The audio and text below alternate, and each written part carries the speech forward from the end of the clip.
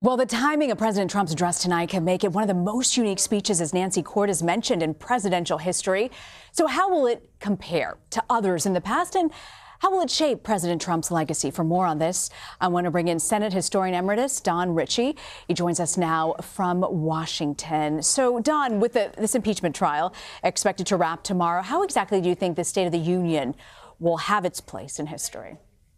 Oh, State of the Union addresses are important uh, for finding out what a president has in mind at the time to sort of set up uh, a laundry list of things he'd like to see Congress do. And, and of course, he'll be judged by how much Congress actually does give him in the long run. And uh, these are historic speeches going back to George Washington on the whole, they're not the most memorable speeches. They're not as as uh, oratorical as inaugural addresses.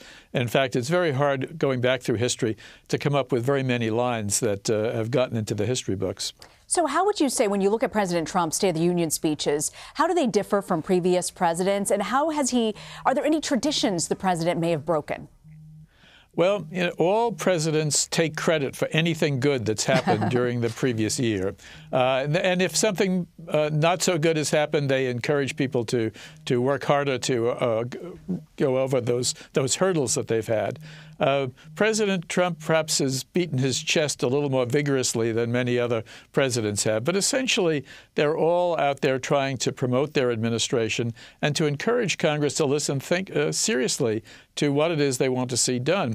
Back in the days when Congress didn't have standing committees, they used to take the president's State of the Union message and actually cut it up paragraph by paragraph and create special committees to try to address whatever those issues are.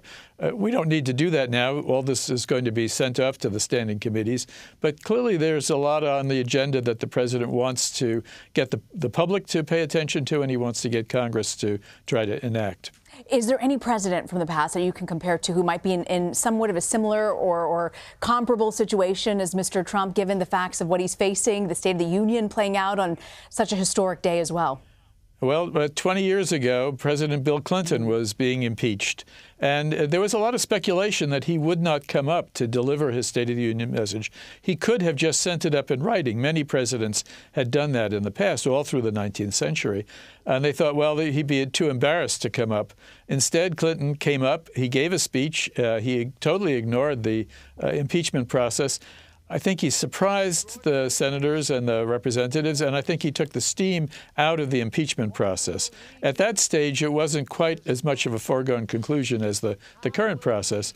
But even so, uh, people really were surprised that the president could go about his business without even referring to it. What do you think the president needs to say tonight in his address?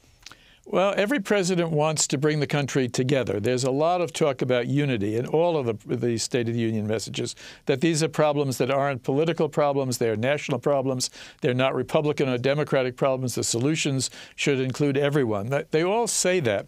Uh, at the same time, uh, they're clearly uh, talking to their own side of the aisle. And in fact, you'll notice that only about half the House will stand up to applaud mm -hmm. at various lines that the president makes. The other half will sit very stony at that stage.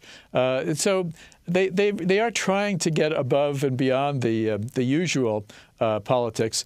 But it, it's uh, contradictory to be tweeting uh, insults to members of Congress at the same time you're hoping to get them to come together. And we know the person tonight who'll be delivering the Democratic response is Senator Bernie Sanders. In previous election years, have any other White House candidates directly responded to the president's State of the Union?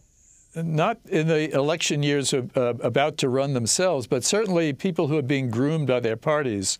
Uh, Marco Rubio, for instance, gave one of the uh, uh responses. And, the infamous water, we remember. Yes, but uh, these are really thankless jobs, actually, to respond to the State of the Union message largely because uh, the, the, audience doesn't pay as much attention to them as they do to the president. Uh, and people will narrow in on some flub or some mistake or something that was done that, that didn't appeal to the, to the crowd. It actually has not helped the careers of most of the people who have given them in the past.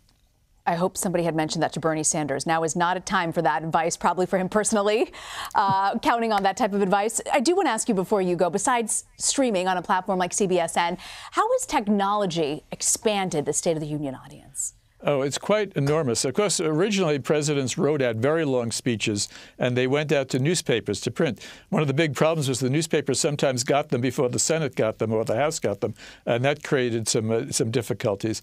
Oh, then we went to presidents uh, starting with Coolidge who were speaking on the radio, presidents starting with Truman who were speaking on television. Uh, now, since 2002, we've had webcasts. We're streaming around the world. It's the audience has become enormous, and it's one of the few instances where everybody in the government comes together the, the executive branch, the legislative branch, the judicial branch, the diplomatic corps. Uh, except for inaugurations and state funerals, there is really nothing like a State of the Union message to bring the government together. So everybody's going to be paying attention. I certainly will. Don Ritchie, thank you very much. My pleasure.